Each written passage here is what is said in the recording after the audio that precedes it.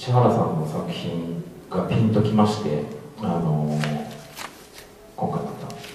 使わせていただくことになりました。あの同じ小樽の、えー、ものづくりの、えー、人間としてあのコラボができてとても嬉しく思ってます、えー、思ったより色がちょっと薄かったなっていうのがこの赤赤に関してですね。で12これが2 3で3はい。で、えー、この小樽美術館から借りたのはまずこれですね。このちっちゃいやつですね、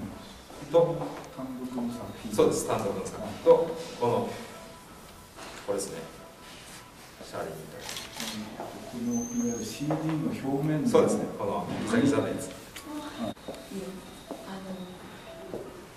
とこっち。です。えー、6つです。はい6点です。使ってないと思います。そうこれがちょっと驚きでギュッてやった時に。小樽出身で国際的に活躍される野瀬さんのアルバムをより魅力あるものにするためにまた父の作品を知っていただくために喜んで承諾いたしました。芸術を介したコラボレーションは間違いなく小樽市民に大きな刺激を与えるものと期待しているところです。市原正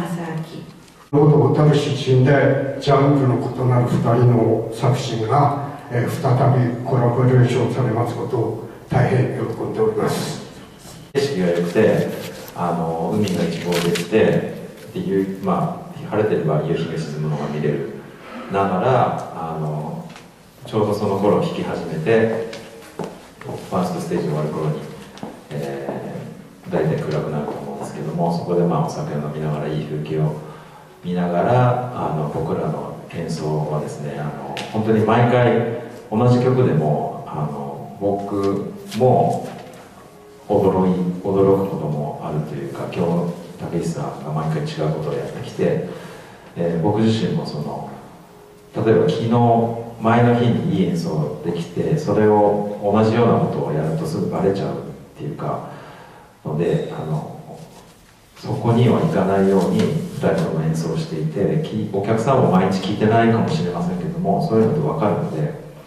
あの、まあ、市原さんの作品もそうだと思うんですけども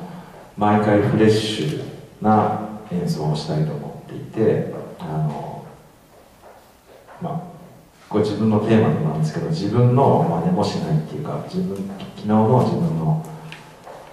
良かった時の模倣をしないように演奏しているので毎回その場の一あの一期一会の、えー、演奏というかその場限りの生演奏なのであの